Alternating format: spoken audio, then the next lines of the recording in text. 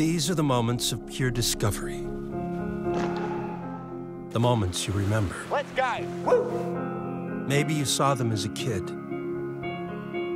Maybe with your own kids. Probably from the edge of your seat. It would have been easy to let someone else take the risk. Great. To create TV no one had ever tried before. But we believed. And you watched. And watched.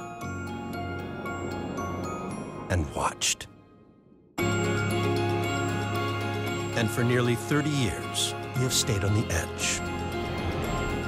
In your home. And a part of your life. That's the wonder of discovery. You never know what will happen next.